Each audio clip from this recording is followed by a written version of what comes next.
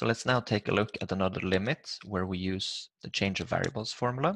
And the example we're going to take a look at is the limit as x tends toward infinity of x to the beta divided by e to the x. And here I'm thinking of beta as being a positive number so that this is growing, this is growing. So we have a battle here.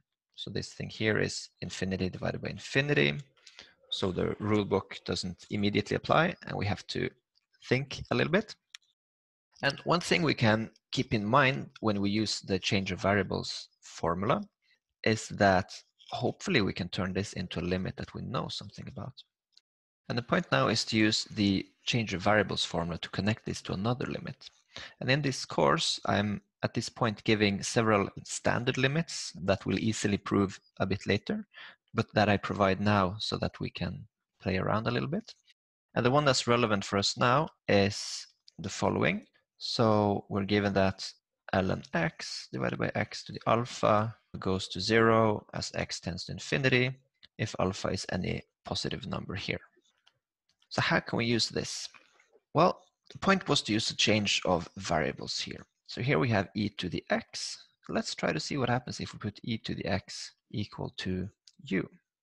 Now when x goes to infinity, e to the x goes to infinity. So here I can replace this by u goes to infinity like this.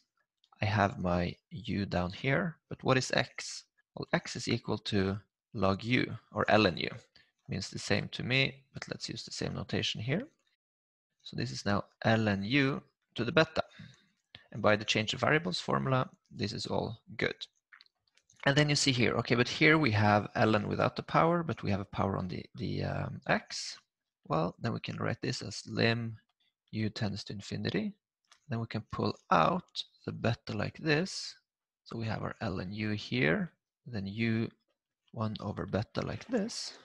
And now we can use, well, basically the change of variables formula, but in the guise of the composition rule. So here we can just move him in like this. We have ln u, u1 over beta like this. And here, well, if beta was a positive number, then so is 1 over beta. So now we can apply this with alpha being 1 over beta.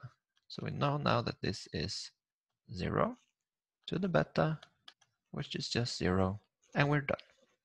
So here, in fact, we use this change of variables thing twice.